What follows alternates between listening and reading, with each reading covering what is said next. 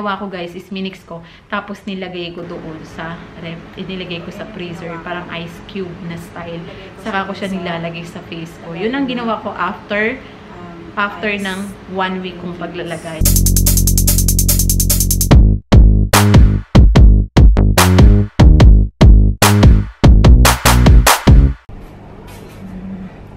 Meron ako ditong itong gatas. And itong overripe na lime or lemon. So, at saka meron tayo dito yan, meron tayong bowl or tasa. So, hiwain lang natin ito. Gawin natin siya um, gawin natin siyang juice. Saka ihalo natin to. So, haluin natin. Haluin natin.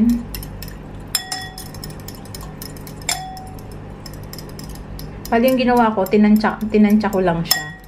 Kayo yung bahala. Kung gusto nyo mas marami yung lemon. I'm not sure. Medyo madami siya, pero gagamitin natin siya sa buong katawan natin.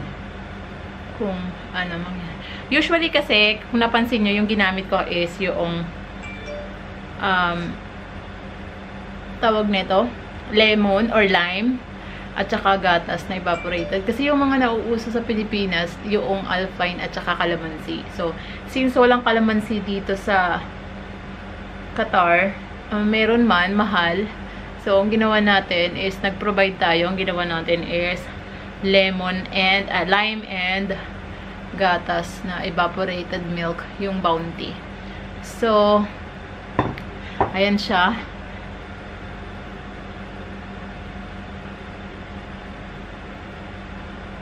So, ayan. So far, wala naman akong nararamdaman. Parang first impression na rin to. Wala naman akong nararamdaman na medyo makatikate or something na ganun. Dahil ito ay usong-uso sa Pilipinas. At sabi nila ay nakakaputi daw. So, why not? I-take natin tong challenge na to kung talaga bang puputi tayo or nakakaputi ba talaga ang ano. I'm not sure kung parehas lang yung effect. Kasi um, calamansi and alpine sa Pilipinas. So, this time, ito is lime and gatas. So, ayan na siya. Nag-dry na siya. Although ito hindi pa. So, banlawan na natin siya. Wala naman siyang ano, wala naman siyang hapde. Wala akong naramdaman na hapde. So,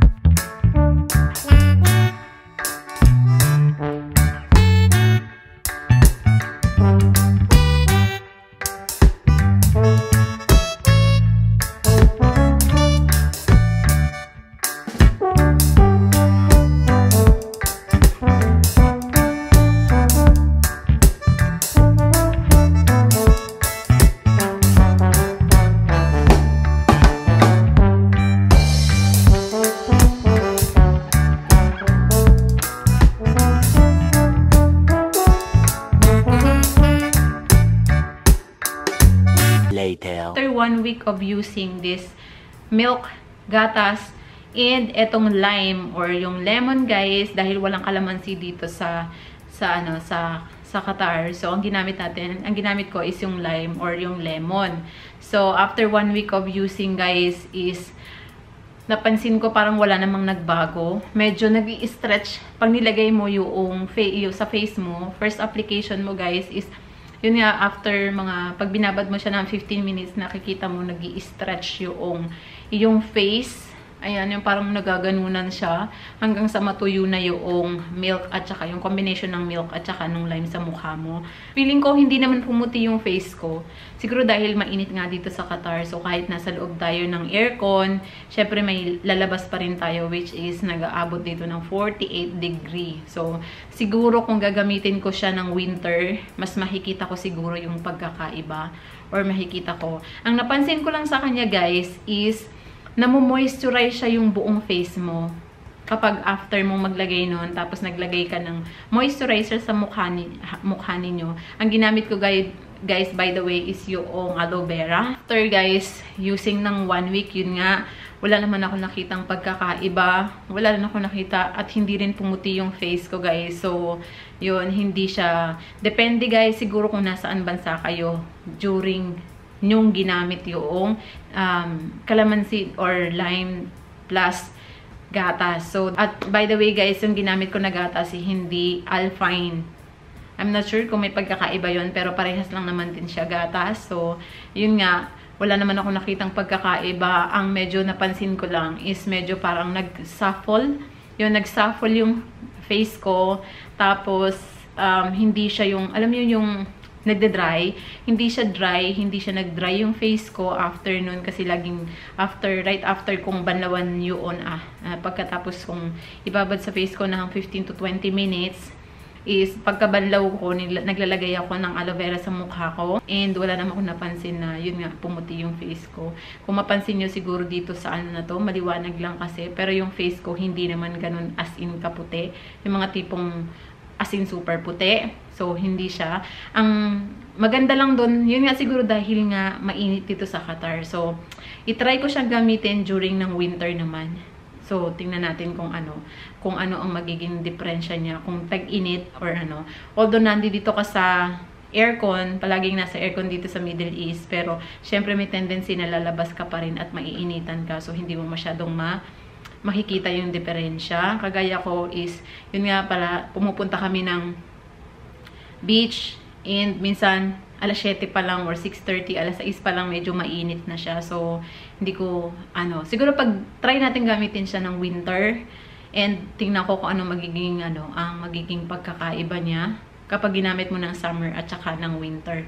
Pero yun ngayon, napansin ko lang is parang nag-shuffle yung face ko and para siyang nagmo-moist, moist, Ayan yan, nagmo-moist-moist. Hindi, kapag evening, hindi ko lang sa inyo lahat na, hindi ko lang na-film lahat, pero yun nga, one week ko siyang consistent na nilagay sa mukha ko.